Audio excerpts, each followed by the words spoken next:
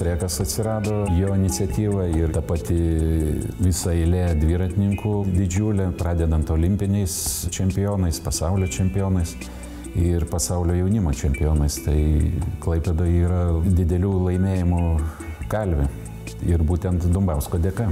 Visą treniruočio metodiką, kaip jisai rodavo, kaip jisai mumis vaikydavo, kaip jis ten, sako, ten žvėrys ar dar kas nors. O pasakykit man nors vieną treneris, kuris glostydamas yra pasiekęs rezultatą.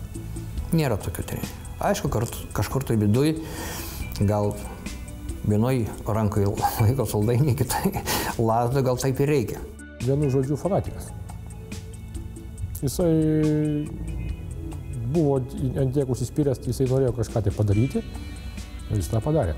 Visos jo žinios, jo laikas buvo dėl mūsų. Ir taip galima būtų sakyti, kad tai buvo ir jo tikslas.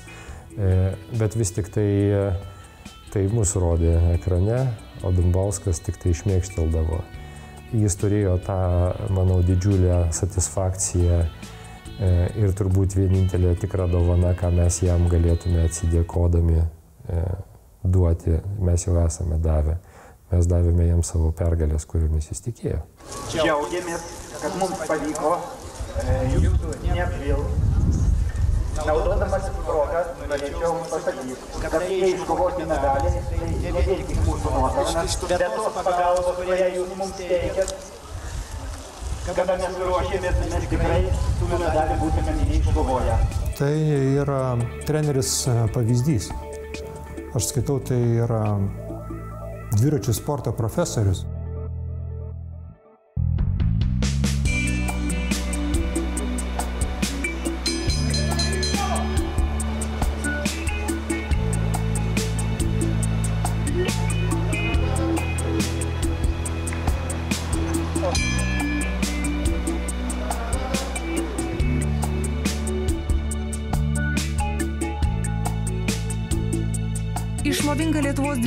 Sporto istorija menanti Klaipėdos treka, vienas geriausių visų laikų Lietuvos trenerių Narsutis Dumbauskas dabar retai be užsuka. Nors tebe gyvena visai šalia, vos už kelių šimtų metrų. Sveikata nebeta, o ir širdį gelia. Tai, kas beveik savomis rankomis statyta ir daugiau nei keturis dešimtmečius puoselėta, baigė sugriūti. Trekas tapo nebesirgalių traukos objektu, uostamieščių nereikalinga šmėkla, be šviesų ir aplodismentų. Už tai, kad dviračių sportų susidomėjo dar vaikystėje, Narsutis Dumbauskas dėkingas savo dėdėjai - 12 kartų Lietuvos čempionui Kazijui Paršaičiui. Vėliau jau paaugliui jis padovanojo ir pirmąjį lenktyninį dviratį. Ir 54 metų rudenį pakvietė mane į Klaipidą Kazis Paršaitis. Jis mano dėdė. Prieš tai laimėjo sąjunginės varžybas Maskva, Harkovos Maskva. Ir kaip prizinį dviratį jis gavo lenktyninį dviratį, patį paprasčiausią. Na ir jis nutarė tą dviratį padovanot man. 55 metais, man dar nepilnai besitreniruojant su lenktyniniu dviračiu, devintokui įtraukė mane į komandą ir dalyvau lenktynėse aplink Tarybų Lietuvą. Užėmiau 17 vietą galutinėje įskaitoje. Kazis Paršaitis laimėjo tas lenktynės. Aš jam pralošiau 4 valandas. Bet paskutinę vietą užėmęs dviratininkas man pralošė penkias valandas. Taip, kad tarp pirmojo ir paskutinio buvo devynios valandos. Bet įvertino žurnalas Sportas, įvertino mane kaip perspektyvų talentingą. Toks įvertinimas motivavo sportuoti dar daugiau. Jaunuolis dirbo daug. Net namuose turėjo įsirengęs nedidelę treniruoklių salę. Šilutėje vadinasi, besimokydamas paskutiniai klasiai, ypatingai daug dėmesio skiriau treniruotėms. Namas buvo dviejų aukštų, antram aukšte buvo palėpė, įsirengiau stakles, štangutę. Ir kiekvieną rytą aš taip užbirbindavau tas stakles ir su štanga, kad ten pradėjo kambarys spaliai birėti.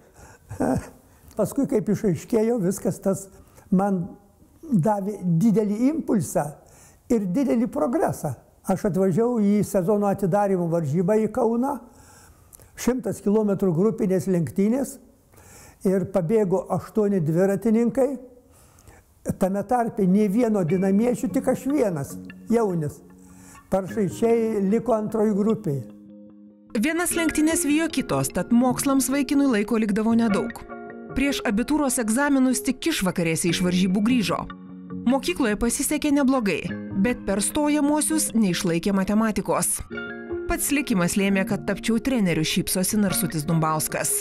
Artėja stojamoji komisija. Klausiau, vadinasi, Politechnikos instituto sporto vadovų. Tai kaip, ar yra šansų man? Tai sako, yra, bet aš tau gar garantijos negaliu duoti. Nu, kur buvę, kur nebuvę iš kūno kultūros instituto, ar jie sužinojo, ar kaip susirado, mane pasigavo, einam, viskas, mes tau sutvarkysim viską, be niekur nieko. Nuėjau aš be dokumentų, dokumentai tai Politechnikos institutė. Sutvarkė man per dvi dienas visus stojimuosius egzaminus prieimė mane į institutą, tada nuėjau į Politechnikos institutą, atsėmiau dokumentus ir taip tapau kūno kultūros instituto studentu. Trečiame kurse sugrįžo atlikti praktikos į gimtąją Klaipėdą ir pasiliko visam laikui. Pradėjau dirbti treneriu Klaipėdoj su moksleiviais. Moksleiviai buvo tada Spartakijadoje, užėmė devintą vietą. O rudenį pradėjau dirbti, o vasarą jau mano ruošiama komanda startuoja. Pirma komanda pirma, antra komanda antra. Nebuvo jokios ten taktikos didelės, nei technikos, nei treniruočių metodikos. Buvo noras dirbti, kartu bendravom su vaikais, važinėjau grybauti, važinėjau žvejoti. Pats su dviračiu į visas treniruotės važiuodavau. Jokio motociklo, jokios lengvos mašinos neturėjau. Turėjau 12 dviračių viso ir keturias grupės. Pravažiuoja, vaikai grįžta, dviračių sukabina, vieni eina namo, kiti ateina, aš toj sėdynės nureguliuoju, jiems vadinasi pagal aukštį, kiek reikia, ir ant tų pačių sėda kiti ir vėl važiuojame treniruotę. Studijas kūno kultūros institute Narsutis Dumbauskas baigė nekivaizdžiai. Gavęs diplomą gana greitai nusprendė, kad profesionaliai sportuodamas gerų trenerių netaps. Tad pasišventė vienai profesijai ir dirbo negailėdamas jėgų. Rezultatų ilgai laukti nereikėjo. 13 metų išėlės jo auklėtiniai tapo Lietuvos moksleivių Spartakiadų čempionais. Dviračių sportą rinkosi vis daugiau jaunimo. 1969-aisiais Narsutis Dumbauskas ėmėsi dar vienos iniciatyvos. Sumanė Klaipėdoje pastatyti naują, šio laikinį treką, tokį, kokiu jau didžiavosi Talinas. Jisai sakydavo, pažiūrėkit, plento lenktynėse, kad tu išugdytum sportininką, kuris galėtų konkuruoti su tuo metu pirmaujančiu dviračių sportų tarybų sąjungoje, pasauliniu mastu tai mėgėjiškas buvo labai stiprus sportas dideli resursai, daug talentų, vienas negali, atsiras dešimt kitų, buvo tokia situacija. Tai toj konkurencijoje jam atrodė, kad kam kišti kaip puodų į snapą. Yra laisvesnė erdvė, trekas, kuriame daug anksčiau, naudojantis gamtos duotą jauno organizmo galimybę, greičio savybėmis, tu gali pasiekti tų pačių laimėjimų ir pasakyti tiem patiem valdininkam, iš kurių reik prašydavo pinigų ir finansavimo, reiškia, savo projektams, tu gali atnešti medalį ant rankų. Tai kodėlgi ne? Trekas pastatytas yra grinai Dumbausko dėka. Tik tai jo dėka. Jis eina pas pirmininką. Reikia. Tai gerai, kad amžinatelis žalys mums labai daug padėjo. Jau jisai matė, kai matė, jeigu sportuoja sąžiningai, jisai visada padėdavo. Bet į to būdu Dumbauskas įeina, eik lauk, iš čia tu man nenervuok jokių trekų. Jis apsisuka, praeina, po pietų jisai vėl eina. Vėl jis gauna Vilnių, jis apsisuka, kitą dieną vėl eina, tenai prašo ir prašo, kad tik pasirašytų, kad tik duotų leidimą, kad tik viską. Jisai savo užsispyrimų, savo tokiu, aš galbūt būčiau nesugebėjęs tiek kartų, būtų mane išvarę ir būčiau sakęs, nu ir eina viskas peklon. O kol jis nepasiekė savo, kol neprasidėjo statybos, kol ne, viskas nepradėjo vykti, ne, nepradėjo stotis į vietą, jis nenusiramino. Viskas sėkmingai mums pavyko. Dešimt metų projektavimas ir statyba. Jeigu kiti objektai buvo kap statyba, tai vadinasi, Respublika duoda fondus cementui, metalui, viską. O trekas vyko kapremontas. Metalo fondų nėra, cemento nėra, viską reikia gauti kažkokiais kitais keliais. Todėl vadinasi, daug metų ta statyba ir užtruko. Statybos šiaip netai pasibaigė, bet laukia dar vienas, nemažiau sunkus uždavinys. Įtikinti sporto vadovus, kad Lietuvai reikalingas dviračių centras ir jį reikia įkurti Klaipėdoje. Narsutis Dumbauskas suskaičiavo, kad tam reikėtų mažiausiai 250 tūkstančių rublių. Bent ketvirtadalio sumos, kuri buvo skiriama Kuibiševo centro finansavimui. Nuvažiavau į Respublikinį sporto komitetą, pas Kukštą, nu, sakau taip ir taip. Sakau, Leningradė yra centras, Kuibiševė yra centras, armija turi centrą, Dinamas turi centrą, viso vadinasi tų centrų yra apie dešimt, Sakau, tai gerai, nu mes irgi turim kažką daryti. Bazė pastatyta, jeigu mes, vadinasi, nesusiorganizuojam sukurti analogišką kažką, mes niekada neįsikapstysim. Jisai sako, gerai, paruoštų man programą, penkis egzempliorius. Aš duosiu vieną variantą - žalgeriui, dinamui, nemonui, darbo rezervams, viskas. Ir kas norės, su to ir vesim darybas. Ambicingą projektą sutiko finansuoti Dinamo draugija. Tačiau ir tai dar buvo tik kelio pradžia. Neturėjau ne vieno sportininko. Niekada gyvenime nebuvau pravažiavęs treikia ne vieno rato. Nežinojau, nuo kurio galo pradėti treniruoti. Per tą laikotarpį, kurį čia vadinasi buvau, bendravau su, su tokiu garsiu trenerių tarybų sąjungos Šelešnevo. Įsikalbėdavom iki paryčių. Sako, atsimink, kiek tu bet treniruotum darbinį arklį, jis niekada netaps ristūnu. Tai reiškia, turi surinkti žmonės, kokią treniruočių metodiką tobulą benaudotum tu. Jeigu pas tave žmonės yra vidutinių gabumų, tu juos padarysi truputį geresniais. Bet jie netaps čempionais. Prasidėjo komplektavimas. Skambinau slanyną į Kauną, kad atiduotų humarą. Treneris Jankauskas iš Utenos paskambino ir sako, Narsutė, aš turėjau keturis dviratininkus. Tris pačius geriausius paėmė Vilnius. Nu ketvirtas numeris Lupeikis, paimk tu jį, sako.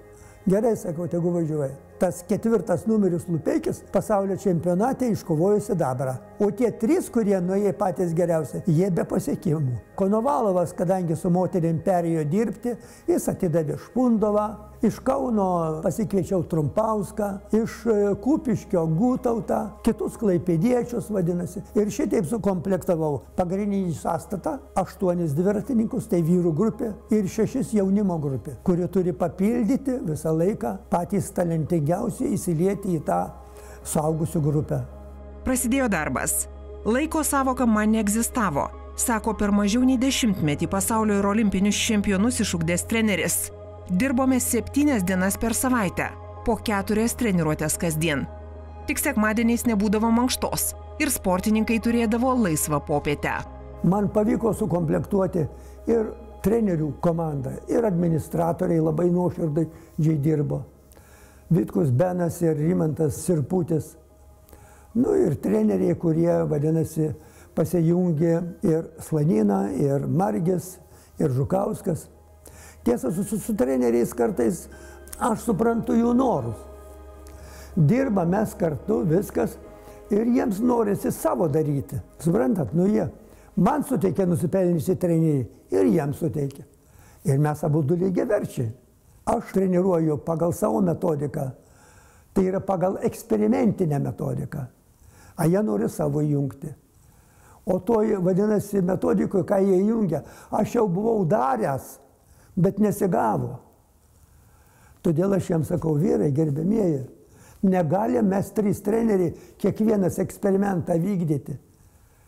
Finansavimą mums duoda, kad mes rezultatą padarytumėm. Ir norit jūs ar nenorit, pykstat ar nepykstat, reikia daryti ne tai, ką jūs norite, o tai, ką kiekvienas iš mūsų privalo. Tokiam dalykė visi vadovauti negali. Vienas vadovauja, va, gali tenai, kaip niekas negirdi ar ką, kažką tai pasakyti, kad va, gal, gal taip arba šitaip arba kitaip. O šiaip dėl treniruočio visą kitą, tai jo atsakomybė buvo. Mes vykdytojai buvom.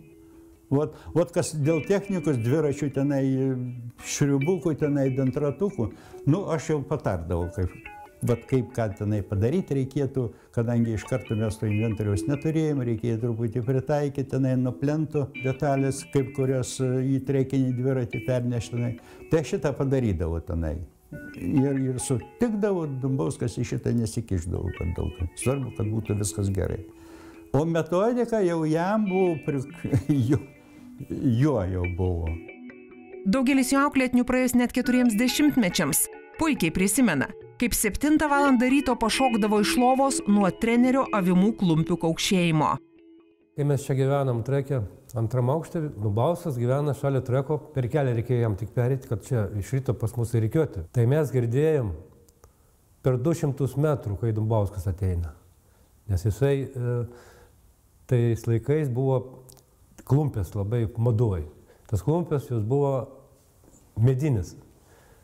Tai mes dar gulim lovos, įgydim kauš, kauš, kauš, kauš, kauš, kauš, tai jau per 200 metrų mes jau keliamės iš anksto, jau žinom, kad Dulmauskas pareina.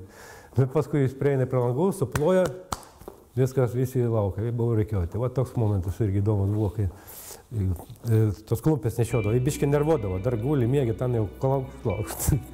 7 val. treniruotė, pusryčiai, nedidelis pasiruošimas pagrindiniai treniruotėjai 10 val. Antrą treniruotė pietus, dienos miegas ir po to trečią treniruotę ir taip. Bet viską reikia išspręsti taip, jeigu auklėtiniai eis iš dviračių treko į miesto autobusą, sės važiuos iki kavinės, ten atsisės ir pusę valandos lauks, kol jiems atneš bet tai eina poilsio sąskaita. Todėl vadinasi, dasimušiau, kad gauti du mikroautobusus RAF. Vieną vyrams, kitą jaunimui. Į komandą įtraukėm administratorių. Vitkus Benas, paskui buvo Rimantas ir Pūtis. Kiekvienas tikrai to žodžio prasme tapo mūsų kolektyvo nariais. Ir jie stengiasi, vadinasi, atvažiuoja dviratininkai, ateina į kavinę, jiems staliukai paruošti, šalti užkandžiai sudėti, jie valgo šaltus užkandžius, įpusėjus atneša jiems karštus, už 15 minučių jau jie su mikroautobusu parvažiuoja į treką ir viskas. Eina ilsėtis, viskas sustiguota taip, kad jokių tarpų blaškimuose nėra. Geležinė drausmė buvo ir namuose. Abu Narsučio Dumbausko sūnus taip pat gerai įsidėmėjo klumpių skleidžiamus garsus. Tik ne rytais, o vakarais, kai tėtis jau pareidavo iš darbo. Gyvenome būte įgulos gatvėje, penkiauštė name, ketvirtam aukšte. Lifto nebuvo, Tai aš atsimenu vakarais girdėdavos jau, kai tėvas lipa laiptais. Tai, bet ne kaukšėjimas buvo, bet ant kiekvienos pakopos biški batas kaip slystelį yra toks garsas. Vakare, jeigu jau išgirstų lipant laiptais, o namie kažkas nesutvarkyta, tai jau streso būdavo beveik kiekvienam žingsniui reiklumas buvo ir dėl drausmės. Man labiau pasisekė e, negu broliui, nes e, man e, mokslai lengviau gal sekėsi. Tai ir, ir pažymiai ten geresni buvo ir visa kita, bet, pavyzdžiui, ten broliui ten ar už nepadarytus namų darbus, ar už ne, negražiai parašytą kažką suskaičiuotą, ar už blogesnį pažymį, tai jau kliūdavo stipriai. Vieną vakarą brolis kažką Ne, tai matematika buvo, ar, ar lietuvių kalba nežinau. Žodžiu, namų darbus parašė, tėvui nepatiko, kad dar tai netvarkinga ir pribraukyta. Sakė, reikia perrašyti. Nu, brolis perrašinėja. Nu ir vėl kažkas nesigavo. Ir aš atsimenu, jis vieną vakarą, tą vieną puslapį, aštuonis kartus perrašinėjo. Na jau taip, jau paskutiniai kartai buvo taip jau pakeltais tonais, ten jau išsigandęs buvo. neduoda niekada niekada neleidžia apsileisti, visada turi būti namuose pasitempęs, viskas turi būti tvarkoje. Mūsų tėtis kartais, kai mes dar buvom mažesni, namuose pats kirpdavom. Ir mane, ir broli. 70 metų pabaiga, reiškia, nu, pati bitlų mada. Taip, o tėtis mus skirdavo trumpai, be abejo, bet kokiu atveju. Nu ir mes su broliu vos ne, ne per ašarą sakydom, tėti, mus mokykloje laisais vadina. Tėtis sakydavo, geriau laisais negu kvailiais ar kažkaip tai panašiai. Tai va, tai, tai dabar aišku linksma prisiminti. Tai tada, bet visą laiką su broliu buvom trumpų šukuosinų.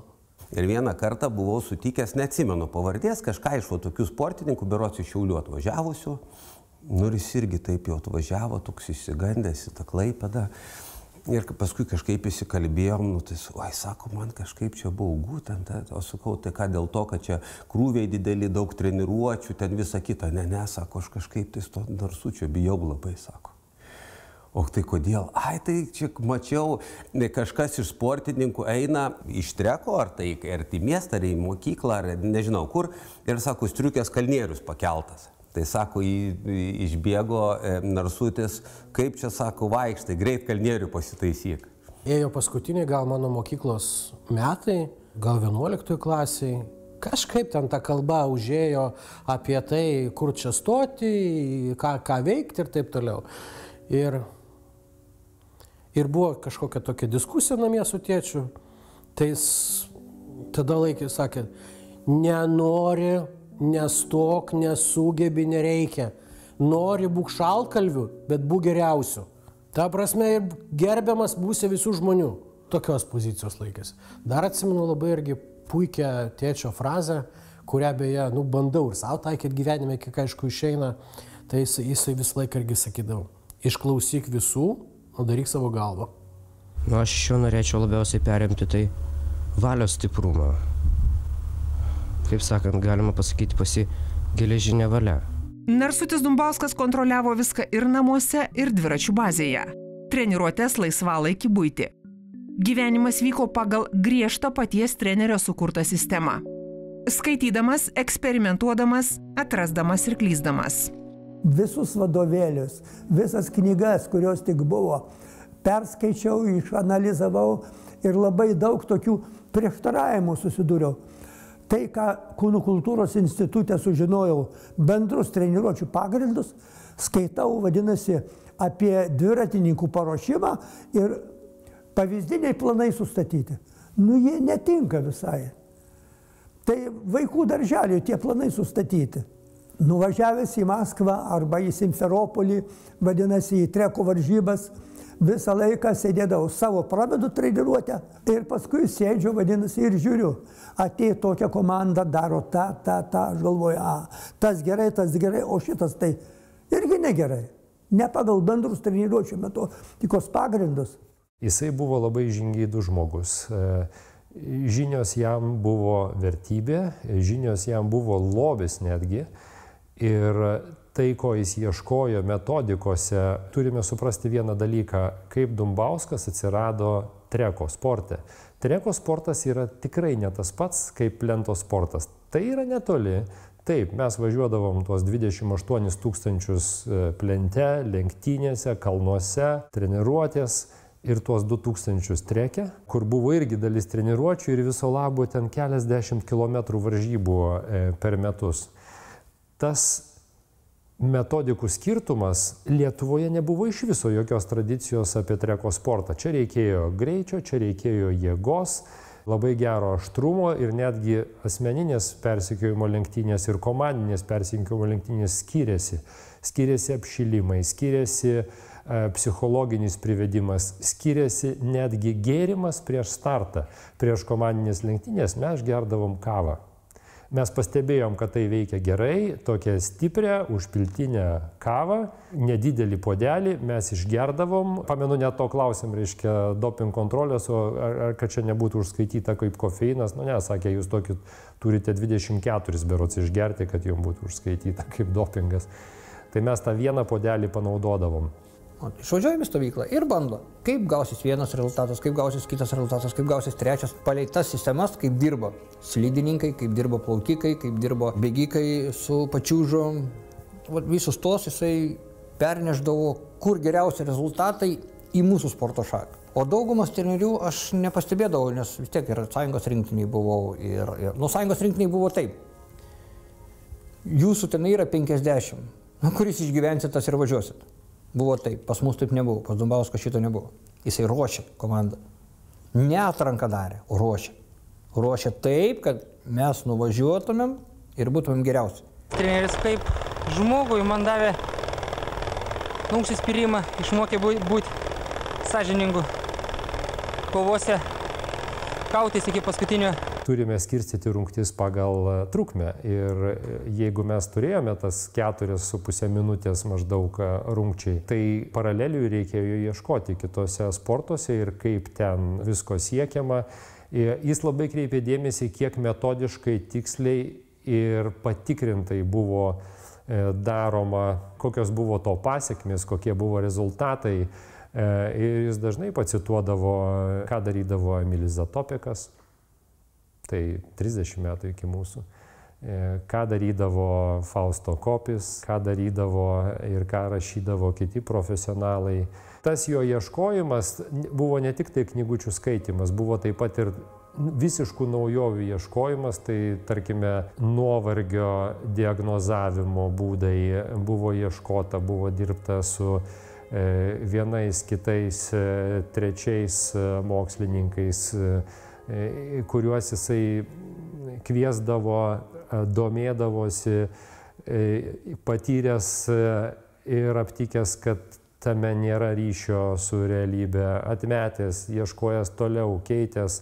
Man kaip treneriui susiformuojant padėjo tai, kad vadinasi atkreipiau dėmesį į Etiopijos bėgiko bikilos labai sėkmingą startavimą. Ir aš įsivaizdavau, kad e, jis tokį pranašumą įgauna todėl, kad jis aukštikalnėse treniruojasi. Žodžiu, pirmas pirštą užlenkiau, man reikia susirasti aukštikalnės. Ir mes treniruodom skirkyziai, ten buvo ne šiltnamio sąlygos. Naktį būdavo minus 10. O rytą mes išvažiuojam 10 val. minus. Labai stiprus vėjas. Jis vadinosi Ulanas tai dviratininkai tiesiog jiems veidą degina. O šalta, nu tai ką, apsirengiam ir šalta. Viskas. O todėl vadinasi sąlygos ekstremalios. Viešbučių nėra. Susiradom bobutę, tvarkingą rusų šeimininkę, kuri turėjo, vadinasi, savo namuką ir kiemę dar vieną, kurį iškuriandavo su anglimis viskas.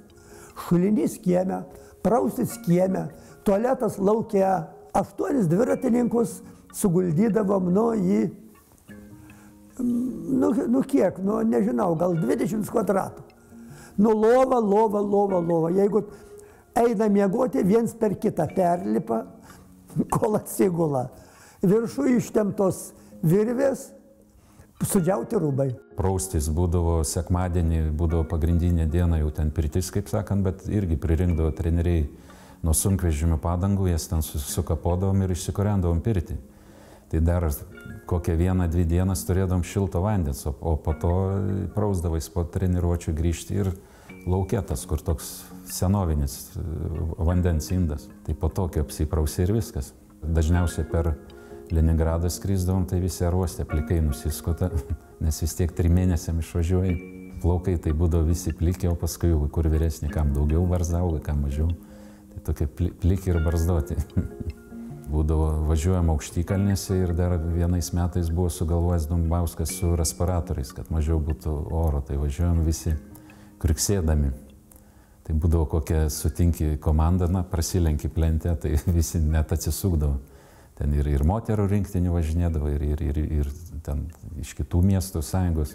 Tai būdavo nustebę, kas čia tokie važiuoja, vos ne dujų ataka ar kas nutikė dirbdavom paruošiamasis ciklus su padangom pripūstom vandeniu. Dabar, kai papasakoji kažkam, tai, tai jiems atrodo kažkokia tai kažkas tai neįgyveninama. Apie tai, ką, ką, me, ką mes darydom, tai dabar jaunimai tai bendrauju daug su užsieniečių, klube yra ir, ir prancūzai pagrindė, ir, ir kitų šalių sportininkai. Ir kai pakalbė tai, ką mes darydavom, jie, jie nelabai supranta. Efektas buvo juntamas, atvirkštinė vandens inercija, reiškia, jis stabdo judesi ir tu turi tokį nuolatinę, šiek tiek didesnę įtampą, tai yra kitų būdų jėgos darbas, kuris mums visiems buvo reikalingas. Visi tokie nauji dalykai, kuriuos jis įvesdavo, jie būdavo mikroskopiškai suskaičiuoti. Taip kaip mus moko dietologai pasverti kiekvieną cukraus kropelytę, kurią mes įsidėsime į arbatą ar kažkur kitur, ar ne? Tai vad pas jį darbas buvo būtent toks. Jis Tai sverdavo mikrograminiams svarstyklėm. Jis mokėjo tai sverti. Švitoklinė treniruotė, jie labai pasitvirtino. Ir padangos pripūstos vandens pasitvirtino. 85 metais viską ir tik dviem sportininkam. Tai Vašiūlai ir Umarui Gintautui. Ir jie abu padarė e, tose varžybos didelį progresą. Ir aš paskui pradėjau ir skaičiuoju. O pravežiau darbą, pirmos varžybos. Abu du startuoja labai blogai. Antros varžybos startuoja žymiai geriau. O trečiose varžybos jie kaip ant sparnų. Aš įskaičiau, kad tai praėjo po to, kai pabaigėm su padangom pripūstom vandens ir pradėjom švituoklinės treniruotės metodiką naudot, praėjo 25-30 dienų. Ir šitokiu būdu apskaičiavom, kad po viso to darbo, kurį mes pradirbam, sportinės formos piką, mes turim pirmia ir atstatyti, ir pravesti švitoklinę treniruotę, ir tik maždaug po 25 dienų, vadinasi, sportininkas yra pilnai darbingas. O jeigu iš karto po šito darbo jis yra dideliam fone nuovargio, nuvargęs, praradęs darbingumą, reikia atstatyti, paruošti švituoklinės treniruotės būdu, davesti iki viršaus. Švituoklė tai yra, mes įvedame ir jis turėjo net mostelti taip rankomis, reiškia, įvedame organizmą į gilę nuovargio būseną, duodame jam atsigauti ir vėl įvedame ir vėl duodame atsigauti ir pratimai šiek tiek skiriasi, bet ne iš esmės. Ir kai mes nuvarome žmogų iki to, kad bet kuris jaunis mus vos netaršo lenktynėse, įsivaizduokite, tai yra trys savaitės iki pasaulio čempionato. Jauniai mum talžos nukius. Lenktynėse trekia. Mes vos pavažiuojam, vos velkamės. Tada po savaitės mes jau tvarkome su visais, bet dar labai sunku. Dar po savaitės mes e, laimim tą patį Tarybų sąjungos čempionatą, o trečią savaitę mes laimim pasaulio čempionatą. Tai yra švitoklinė treniruotė. Kiekviena treniruotė vykdavo pagal griežtą planą. Jau sezono pradžioje dviratininkai žinojo, ką veiks po kelių mėnesių ir kokią sportinę formą turi pasiekti. Jisai spalio 25 dieną pasisodinęs atskiram pokalbiui per dvi valandas išdėstydavo metinį planą, ką mes darysim. Įsivaizduokite, tai yra kiek gali paveikti koks nors susirgymas, kiek gali paveikti kažkokios oro sąlygos, e, skrydžių atidėjimą ir taip toliau. Bet visas tas planas veikdavo. Man po pirmų metų buvo e, aiškiai įrodyta, kad tas utopinis planas Aš atvirai sakant, sėdėjau ant tos geležinės lovos, reiškia, spiruoklinės. Ir kažkaip galvoju, kokius niekus jisai šneka. Aš pernai kažkoks 50 tarybų sąjungoje galiu dabar šiemet, po metų laiko nepilnų, būti pirmas. Čia yra kažkoks tai niekalas. Aš tikrai taip galvojau. Bet aš dariau viską, ką jisai sakė. Aš dirbau uoliai, man, man patiko dirbti visada. Bet vienas iš dalykų, ką Dambauskas davė, e, žinot, jo pavyzdys buvo, kaip reikia mėgti darbą. Jis mylėjo darbą. Narsutis mokėdavo studijuoti treniruočio metodiką, tas jį būdavo visi planai, ką mes darėm, visų sportininkų, kokie krūviai, kiek mes kilometrų pravažiuodavom, kokiais krūviais, prie kokio pulso. Mes patys pastebėdavom, kad metai iš metų mūsų darbo krūvis kildavo metų bėgyje, daugiametėje treniruotėje, sportininko krūvio apimtis turi aukti spiralės principu. Lipi visą laiką aukštyn. Ir mes galų gale pasiekėm savo sportinės karjeros pabaigoje, per metus pravažiuodavom 40-42 tūkstančius kilometrų bendroji pimti. Jūs įsivaizduojat, kas tai yra? Tai yra aplink Žemės rutulį vieną kartą. Dabar susitikau su Kaspučiu, sako, aš jiems sakau, savo tiems vadinasi profesionalams. Jie pravažiuoja 27 tūkstančius kilometrų per metus. Aš jiems sakau, kokie jūs profesionalai? Sako, aš važiavau 40 tūkstančių. Klaipėdoje bestreniruodamas. Jisai visą laiką gyvenime stebėjo. Ir šitų savo stebėjimų jis darė išvadas. Jis laiką būdavo su bloknotu, kuriame viskas buvo surašyta, kaip atrodo auklėt, jo auklėtinio akis, kaip atrodo, jo veido spalva kokia, kaip jisai reaguoja į pastabas, kaip jisai reaguoja, viskas ten buvo surašyta. Buvo labai toks pažangus gydytojas, kai aš dabar prisimenu, Leonardas Varnas. Jis jam ten, jam įvairius tos tyrimus darydavo ten su tais dviratininkais. Narsutis Dombauskas sako, pateikit man tos tyrimus, ką jūs va dabar galvojate apie tokį, žinai, dviratininką apie tokį. Nu, jis pateikdavo, o jis savo pateikdavo šalia. Ir kai sutapdavo, tai sako, tai ką man tu reikalingas. Jeigu aš galiu pats nuspręsti. Mes pasitarėm ir aš nusprendžiau. Čia buvo jo auksinė frazė. Šito klausimu buvo taip. Jis net su treneriais, su trenerių brigada galėjo taip. Nu, treneriai, nu, vyrai, ką darom, taip ir taip. Kiekvienas išsako savo nuomonę. Nu gerai, dabar aš nuspręsiu. Ir bus taip, kaip aš pasakiau. Narsutis labai turėjo daug sugebėjimų kaip psichologas. Pas Narsutė ateidavo į kabinetą kažkiek tai gal su savo idėjom, bet dažniausiai išeidavo iš kabineto su Narsučio idėjom. Ir jisai mokėdavo įtikinti sportininkus, ko mes siekiam, kur mes einam ir ką mes darom. Aišku, kartais užėjimas į Narsučio kabinetą nelabai malonus, nes kartais žinodavai, kad gausi, kaip sakant, Vilnių. Nes būdavo ir tų, kad pridarydavom, būdavom jauni ir prikrėsdavom viską, kaip sakant, ir pakildavom nuo žemės ir, ir kaip sakant, galva kaip pasidarydavo, kaip, kaip pustas ir duris pradėdavom kojom atidarinėti.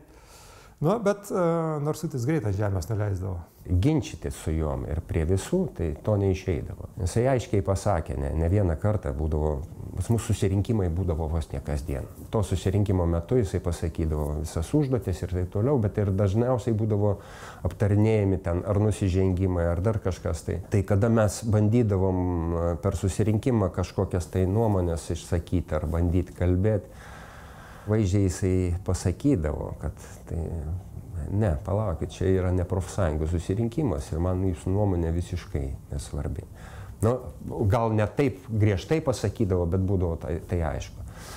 Nors kita vertus, taip, jam rūpėdavo kitų nuomonė. Bet jisai tai darydavo jau nebe susirinkimo metu, o kažkaip po vieną. Kaip specialistas lenksiu galvą visada, bet uh, jam trūko, aš skaitau, kad treneris dar turi būti kaip tėvas, kaip brolis, kaip uh, auklė galbūt dar taip. Nu šito ne visada būdavo. Būdavo tokių vidinių konfliktų, kur nu, būdavo kartais viskas, nebegali iškentėti. Einu lauk arba dar kas nors. Nu, pailsi, pailsi bišliuką ir vėl.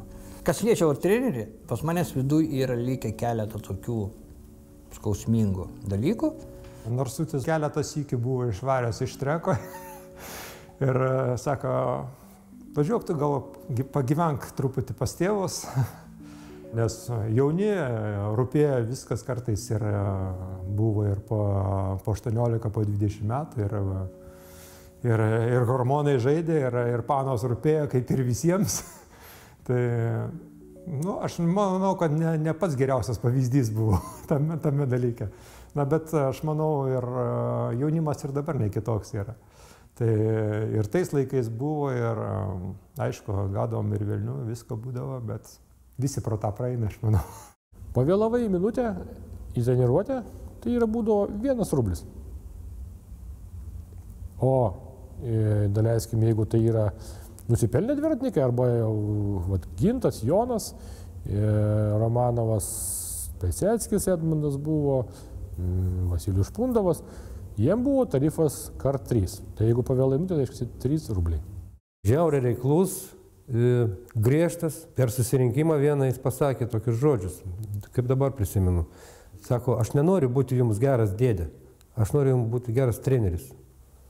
Nu, ir tai buvo tas akmuo į daržą tiem, kurie pažeidinėdavo režimą. Sako, aš nekentėsiu ne, ne vieno tam, kas pažeidžia režimą.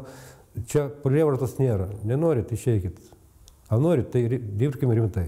Diktatorius kažkiek tai buvo, ne, ne veltui ir pravardę turėjo, vadino caras, tai laisvės nedaug turėjom. Laisvės uh, turėjom labai nedaug, bet tai aš manau mus ir, ir vedė prie pergalių. Pergalių buvo daug ir skambių. Pradėję nuo aukso medalių Sovietų sąjungos moksleivių Spartakiadoje, labai greitai Narsučio Dumbausko auklėtiniai lygių savo neturėjo ir vyrų varžybose. Pačių dviratininkų šio sporto profesoriumi vadinamo trenerio auklėtiniai laimėjo tris olimpinius aukso medalius. Pasaulio čempionatuose iškovojo du auksinius, keturis sidabrinius ir keturis bronzinius trofėjus. Šešis kartus pagerino planetos rekordus. Į lyderius lygiavos ir jaunimas, parvežęs į Lietuvą net 16 pasaulio pirmenybių medalių. Treneris mokėdavo nuteikti psichologiškai lenktynėms ir jausdavo, ką mes galėtume nuveikti per, per tas lenktynės ir mus motivuodavo rezultatais. Tai ne dabartiniai laikai, kai vieną ar kitą pergalę pasirašai pas profesionalus ir pinigai. Tai patriotizmas buvo medaliai. Справа Якимов, за ним Нелюбин, после него Каспутис и крайне слева Гентаутас Умара. Daugiau nei dešimtmetį Narsutis Dumbauskas buvo ne tik Lietuvos, bet ir vienas iš Sovietų sąjungos rinktinės trenerių. Seulo olimpinėse žaidynėse lietuvių pakluso ir tris kart olimpinis čempionas. Per savo ilgą sportinę karjerą net milijoną kilometrų dviračių numinės Rusijos šimtmečio dviratininkų pripažintas Večeslavas Jekimovas. Мы, в общем-то, готовились и главным тренером или, или тренером, который тренировал команду, готовил команду к стартам, это был как раз Нарсутис. И я все никак не мог привыкнуть к этой системе подготовки. То есть у нас не было, скажем, ни одного такого упражнения, где можно было бы там ускориться вот так вот и почувствовать скорость. Да, были длинные дистанции, там 4 километра, там длинные смены, но на 90% от э, того, что мы привыкли, когда Кузнецов нас готовил. Я все время удивлялся, думаю, ну как так, ребята, вот они катаются, да, длинно, я понимаю, там 4 километра, там может несколько упражнений таких быть. Вот. Но они ни разу не уходили на скорость, которая, в принципе, должна быть там в командной гонке. Как они потом ее соревнования на высокой скорости. Вот меня, для меня это было всегда удивлением таким. Ну, был, видать, свой такой расчет, тренерский подход, и, соответственно, в чем-то, в чем-то, наверное, они были тоже правы. Kaip kulka į dviračių sportą iššovęs Večeslavas Jekimovas buvo pagrindinis ryškiausios Lietuvos dviračių sporto žvaigždės Gintauto Umaro konkurentas. Jų dvikovos lemdavo, kam atiteks ne tik Sovietų sąjungos, bet ir pasaulio čempionatų auksas. Nemažiau atkaklė akistata vyko ir tarp trenerių. Narsučio Dumbausko ir Aleksandro Kuznecovo iš Sankt Peterburgo, tuometinio Leningrado iki Dumbausko ir iki mūsų konkurencijos su Jekimovu ir jo konkurencijos su Kuznecovu ir, ir daugybė žmonių aplink, tai sportininkų ir trenerių taip pat ta konkurencija tokia buvo didelė, mokykla prieš mokyklą, kaip rodoma tose koviniuose filmuose apie japonų karate mokyklas, ar ne? Tai, tai čia buvo kažkas truputį tai. Toj konkurencijoje e, dviračių sportas užaugo į tikrą pasaulinį lygį ir labai priartėjo prie profesionalų sporto. E, mes žengėm tokį žingsnį, priartėjom savo pasirengimu prie gebėjimo kautis e, su visais e, didžiaisiais profesionalais. Kulminacija prieš priešą pasiekė 1988 metais. Prieš Seulo olimpinę žaidynę Sovietų sąjungos čempionate Gintautas Umaras įveikė pagrindinį savo konkurentą asmeninėse persekiojimo lenktynėse, o netrukus triumfavo ir Lietuvos komanda. Tai reiškia, kad Kuznecovas lieka vyriausiojų SSRS rinktinės strategu, bet Dumbauskas tampa pirmuoju abiejų persekiojimo rungčių treneriu. Lietuviui buvo suteikta teisė formuoti komandą, tačiau Kuznecovas su tuo niekaip nenorėjo susitaikyti. Kiekvienos pergalės po sezono skaičiuodavo klubų rinktinių reitingus. Kaliningrado Kuznecovo turi tiek pergalių, ten Lietuva turi tiek, Dubausko klubas, ten Kuibišovo tiek turi tiek. Ir gauna tarptautinis išvykas. Na ir vat, kuo aukštesnis reitingas ir kiekvienais metais norės išvažiuoti tas lenktynės, nu pasistengti, vat, laimėti tą, tą, tą, tą, kad gautum didesnį reitingą ir tave išvežtų į geresnės lenktynės, negu mes važiuojam. Nors lenktynių buvo labai daug labai daug. Mes turėjom ir sąjungos e, lenktynių, kur duodavo iš Tarybų sąjungos rinktinės, ir, tarybų, ir profsąjungų rinktinės gaudom, ir Lietuvos rinktinės gaudom, ir klubo lenktynių. E, lenktynių buvo daug. Tikrai daug.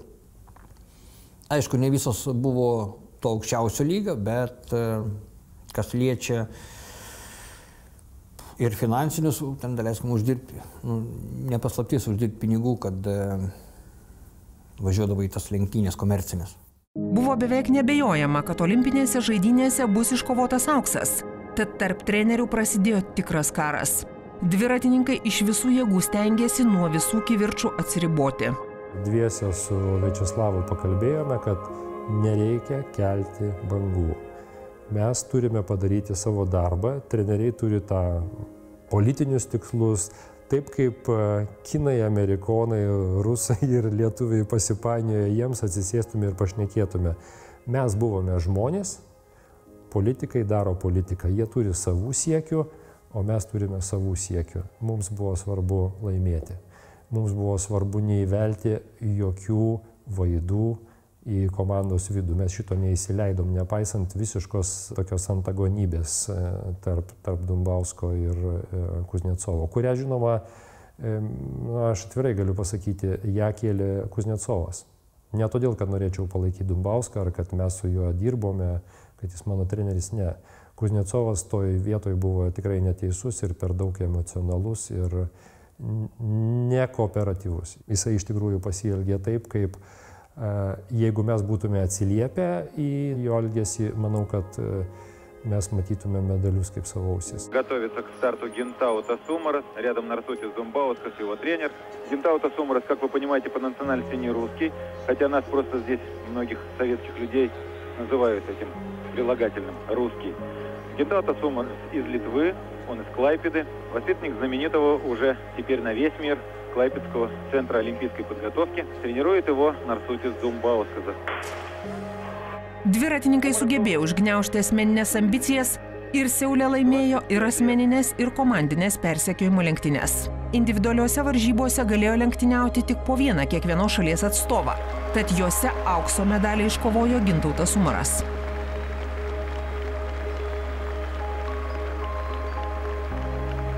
Komandų lenktynėse ant aukščiausiosios garbės pakilos lipo du lietuviai.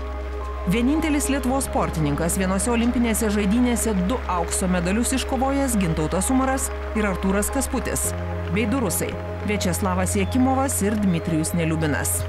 Dar vienas Narsučio Dumbausko auklėtinis Mindaugas Umaras varžėsi tik vieną kartą ketvirtfinalyje, tad pagal tuo metu galiojusius nuostatus nebuvo apdovanotas. Tačiau aukso medalį jis vis dėlto turi. Savai jam padovanojo brolis. Lenktynės buvo Narsučiui labai sudėtingos psichologinė prasme, nes a, tai buvo kova truputį Leningradas ir Klaipėda daugiau psichologinė. Ir jam tas spaudimas tais laikais Sovietų sąjungos, aš manau, kad labai daug kainavo. Jei Mindaugas negavo medalio, tai irgi to pasiekmes. Mm, gaila, aišku. Bet tai jau istorija, bet Tai, tai nebuvo didelė, aš manau, šventė Narsučiai, po, kad ir mes laimėjom olimpinį medalį, bet viduje buvo nelengva. Kažkur buvo išsakyta toks galbūt jam priekaištas, kad jis nesugebėjo apginti Mindaugo. O gal ir nebuvo to pasakyta, man atrodo, kad jis tą temą pats yra kažkada iškėlęs ir atsiprašęs ir, nu, turbūt Mindaugas e, yra tai priėmęs ir, ir apie tai neverta, e, manau, kad kalbėti. Tai buvo labai sudėtingas laikas e, ir apkaltinti žmogų, kad jisai staiga šovė ne į tą pusę, ne visada galima, jeigu tu šaudai tamso ir nežinai, kur tavo priešas. Po kurio laiko grįžus, vadinasi, buvo sąjunginiam sporto komitete įvertinimas, dviratininkai pasirodė labai gerai, o Kuznecovas visų vyriausias. Nu tai fantastiškas pasirodymas. Kuibišovo treneris iš tribūnus išsakė Kuznecovui tam tikras pretenzijas konkrečiai paminėdamas kažką tais. Ir po, po Kulbišovo trenerių Petrovo aš išėjau į tribūną. Irgi papasakojau, vadinasi. Sakau, jūs įsivaizduokit. Paskirė mane atsakingų už tempą, nuvažiavom į Vladivostoką, Kuznecovas sako, tu treniruoki su savais, o aš treniruosiu su savais. Sakau, aš būdamas TSRS tempo grupės vyr treneris, aš nemačiau šitų dviejų žmonių nei vieno karto. Ir kaip atvažiavom į Seulą, kelis kartus pasitreniravom, sakau. Taip, fiziškai mes, sakau, buvom pajėgiausi, bet techninių požiūrių mes nesusivažinėję. Tai sakau, tau svarbiausia ne Tarybų sąjungos rinktinė, o Piterio klubas. Sakau, galų gale aš pasakysiu dar tokį dalyką. Buvome, sakau, Amerikoje. Amerikiečiai mums davė 25 tūkstančius dolerių kelionės kompensaciją. Sakau, tu už tos 25 тысяч долларов приперкай компьютерю и сакай, все это будет в мой клуб. А сакал, а почему не в кабину сборной команды СССР? O su, kom, su toj konferencijai dalyvavo Gramovas, visi pavaduotojai. Sekančią dieną nuėmė Kuznetovą nuo darbo. Visi konfliktai Narsučiui Dumbauskui kainuodavo daug nervų. Tik artimiausi žmonės žinodavo, kad tamsų sakiniai nėra tik įvaizdžio dalis, o apsauga nuo žvilgsnių streso išvargintoms akims. Tačiau ambicingo trenerio tai nestabdė. Įgyvendinti jo planams ir idėjoms para būdavo per trumpa. Dėl nesibaigiančių darbų labiausiai kentėjo šeima. Net sūnus važiuoti dviračiais išmokė ne tėvas, bet mama. Žmona tokio tempo net laikė. Vaikus užauginę su toktiniai pasuko skirtingais keliais kai tėtis grįžta, tai būna mums, nu kaip, jeigu taip galima pasakyti, šventė didelė, didelis įvykis. Tais laikais, sakykime, nu, nebuvo galimybės kažkur tais daugiau mažiau nuvažiuoti ar pakeliauti, tai tėvas daž bent jau mane, gal broli mažiau, mane dažnai veždavosi ir į varžybas, tai ar, ar ten Latvija, Estija, čia po Lietuvą, kažkur tais Vatrusijoje, tai šiaip tokių e, e, įdomybių buvo, buvo jo ta darbotvarkė buvo tokia, kad išeiginių ne, kiekvieną dieną po kelias treniruotės, plus ten pasiruošimai treniruotės, konspektai, programos planai, tai nu, laiko praktiškai nebuvo. Tiek, kiek laiko su juo praleisdavom jam bedirbant, tai nu, taip ir buvo. Bet ir mūsų buvo tas dviračiai gyvenimas. Kaip mes eidavom sirgti už žalgerį ar statybą tar taip laikais, tai eidavom sirgti kiekvieną kartą į treką, už savo dviratininkų sėdėdavom, veždavosi mus su broliu į Maskvą, į vasaros čempionatą, į žiemos čempionatą, jeigu patekdavo, to prasme, sėdėdavom tribūnose, šaukdavom.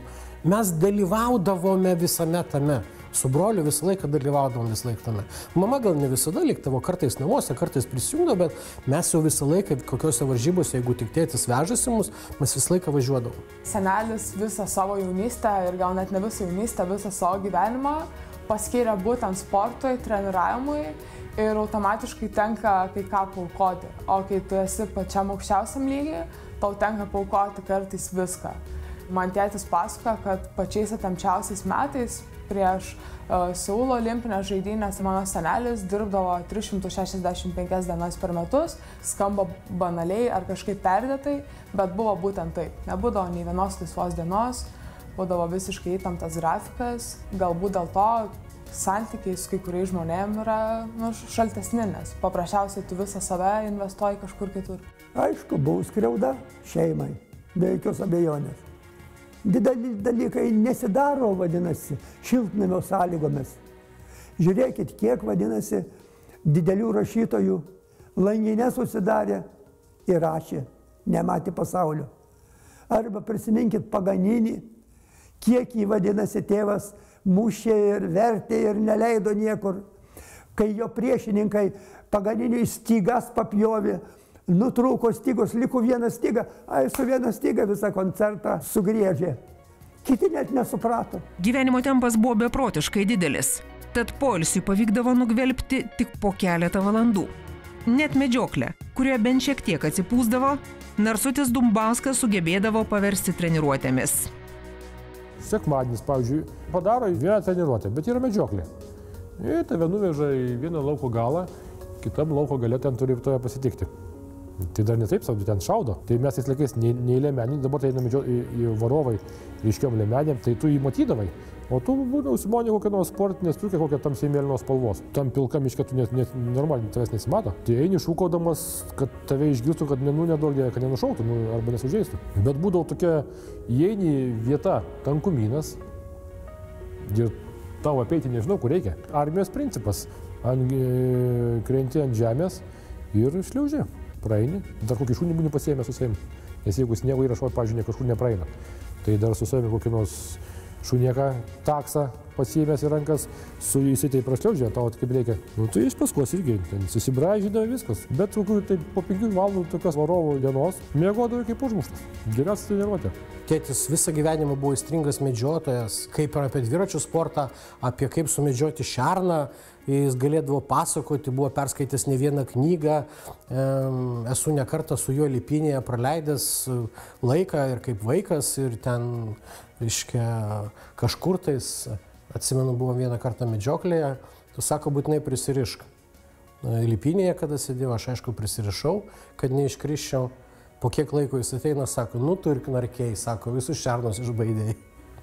Su to medžioklėm būdavo, kad atsikeli ryte, visas toks, žinot, užsimiegojęs, laikas į mokyklą, atidarai vonios duris ir matai pilna vonė mėsos. Pridėta, vandens užpilta, nu, ta prasme, kad kraujas Tai medžioklė reiškia buvo tikrai sėkminga. Turėjom greitpodį ir paskui mama gamindavo konservus, uždarinėdavo ir mes patys vartodavom ir sportininkai vartodavo visi. Vienas turbūt paskesnių dalykų, ką jis pamėgino mus išmokyti beje, tai jis pamėgino mums papasakoti, kaip virti plovą. Atsivežė savo ryžius, atsivežė visus savo ingredientus, puodą, net malkų atsivežė savo ir mes draugė su juo virėm plovą. Bėda ta, Nežinau, ar kas nors užsirašė tą receptą. Aš dar tikiuosi, kad duok Dieve, kad jis dar turėtų sveikatos ir mes jau suvežtume visus jo nurodytus ingredientus ir dar išvirtume tą plovą. Jis labai gerai gaunasi pas Dumbauską. Prancūzijoje mes su juo buvom, keli dalykai mane sukrėtė. E, sustojom, jis sako, vyrai dabar bus treniruoti. Schemai parodė 120 km ten ir 120 atgal. O aš dabar virsiu jums makaronai paflotski, kaip jis. Katilas su savim veža, sakykime, šitas makaronus, taip toliau laužą padarom, e, reiškia, ruošia jiems maistą. Irgi užduodi savo klausimą, nu, nu, tu gal galėjai pinigų gauti, gal kažkur tai valgyklėlė ir taip toliau, e, bet o tą šilumą, sportininkai pravažiavę ten 200 km atvažiuoja, tą valgė, taip, taip jiems, kad. Verslininkas Martinas Gusetinas ta žmogus, į kurį narsutis Dumbauskas galėdavo atsiremti kelis dešimtmečius. Treneris jį vadina mecenatu, o šis atkerta, kad yra tiesiog bičiulis. Į varžybas važiuodavome, kartu medžiodavome, žvejodavome. Kaipgi kitaip mes su juo suradom bendrą kalbą. Aš irgi nesu toks labai gerėtis, bet aš jį kažkaip tai širdim suprantu. O suprantu, kaip jis gyvena, suprantu, kodėl e, ne visi jį myli. Suprantu šitą. Su tokiu charakteriu, su tokiu reiklumu, su ta teisybė.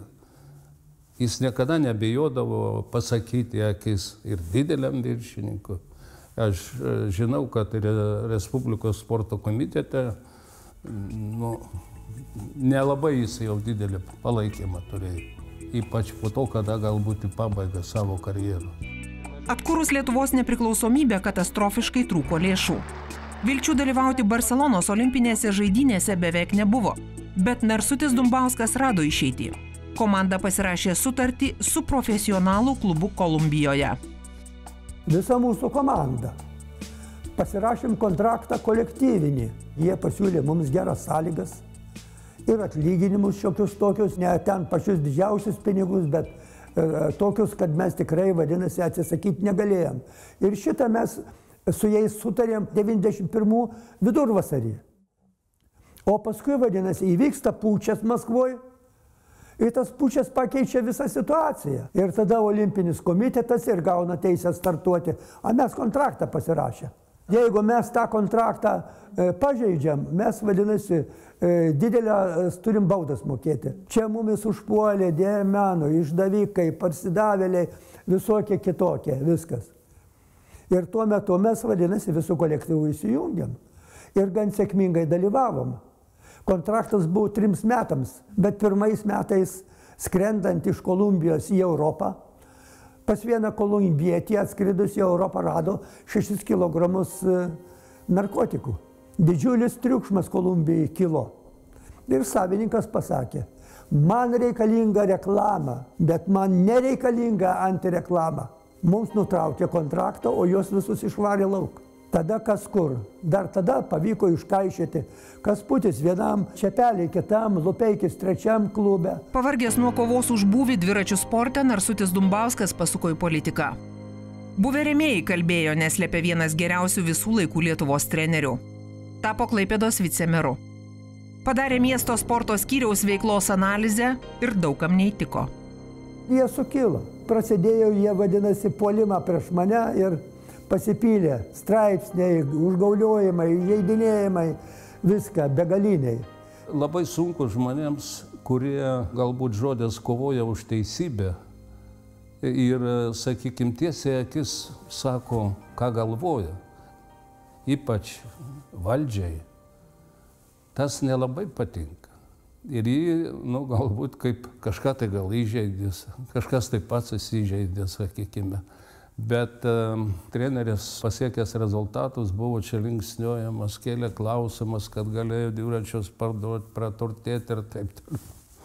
Man tiesiog, žinant jį, aš su juo medžioju, žvejoju, sakykime, žinau, kaip jis gyvena, jis neturi tų pinigų. Ir ne jo moraliai, tą, ką sakom, kiti, kad žmogus gali ten parduoti dviratį kažkokį, suprantate. Tai jam tai svetimi dalykai. Tai žmogus turintis daug organizacinių sugebėjimų, jis ilgai vadovavo ir dviračių sporto mokyklai, įrengė patalpas tai mokyklai, dviračių sporto bazė, nebekalbant apie dviračių treką, bet ir pačią subūrė dviračių sporto mokyklą. Ir taip atsirado tokios gražios tradicijos. Na ir nebereikalo Narsutis Dambauskas gavo miesto garbės piliečio vardą. Didžiuojamės, džiaugiamės, kad turim sportininkų tarpę, sporto darbuotojų tarpę, tokius garbingus žmonės kaip Narsutis Dambauskas.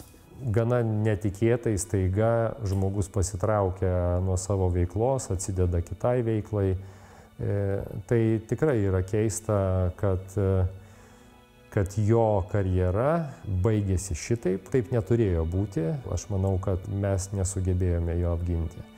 Gal jam jo paskutiniai dešimt metų sporte buvo tai, kad jis, jis jautė, kad sistematiškai e, nebėra augimo aukštyn. Jis jautė visos struktūros pokyčius, tai yra kas ateina jaunimas, kas, kas vyksta Lietuvoje, kaip kaip sumažėjo varžybų kalendorius, kaip sumažėjo vaikų sporto finansavimas, kaip treneriai tapo tiesiog būreliu senus nudėvėtus kostiumus dėvinčių žmonių, todėl kad niekas jiems už darbą neatlygino. Trenerio kelyje nusivylimų kaip ir pergalių būta daug.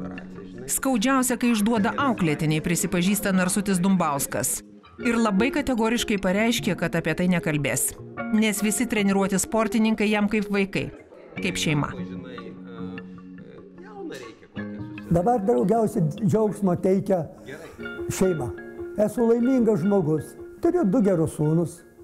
Turiu nuostabę žmoną, ją labai myliu. Labai džiaugiuosi ir didžiuojasi jos sūnumi ir dukra. Pragyvenau laimingą gyvenimą. Turėjau labai daug įtampos. Labai daug adrenalino.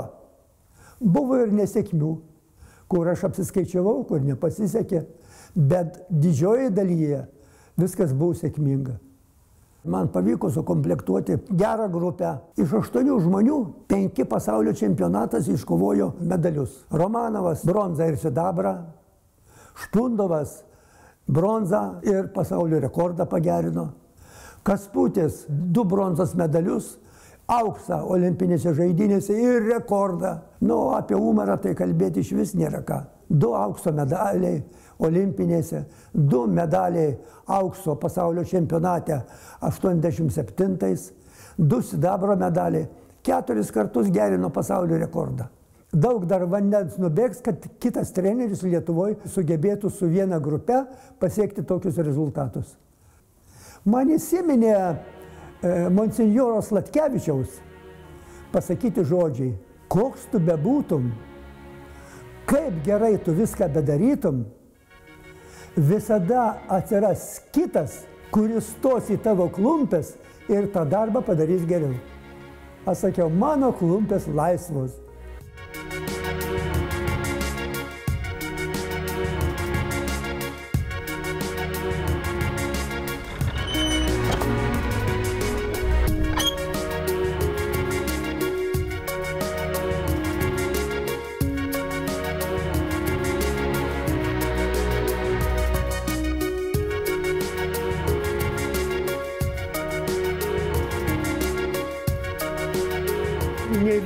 Sporto bazė Klaipėdoj per artimiausią šimtmetį nepakarto.